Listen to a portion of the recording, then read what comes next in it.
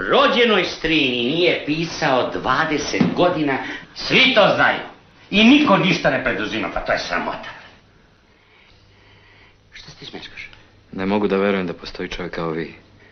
A što? Vi ste ludak. Smem li nešto da vas zamolim? Izvolite.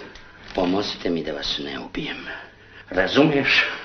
Ja sam uvijek bio na ivici nekog da ubijem. Nemojte to vi da budete, nemojte molim vas. Nemojte vi da budete, da mi platite za sve one koji su me ponižavali, koji su me mučili. Nemojte vi.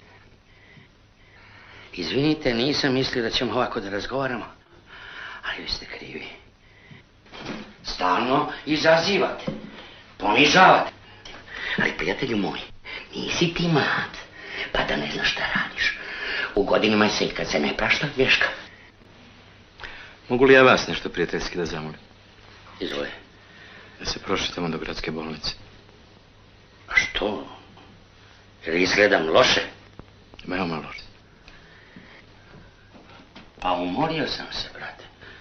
A i moje srce baš. Živci. Živci? Da. Živci su vam popustili. Jakovljeviću! Jakovljeviću, pa ti nisi normalan. Jakovljević, šta ti ideš s tobom u bolnicu pa da me tamo odvedeš kod lekara da me zatvore u sobu? Kao lodaka, jel? Jel ti misliš, Jakovljeviću, da sam ja lud? Sa vama više neću da razgovaram. Čekaj, čekaj, Jakovljeviću, čekaj malo. Da prvo ovo raščistimo. Je li Jakovljeviću? Jel ti misliš da sam ja lud? Vi ste svakako bolestan čovjek.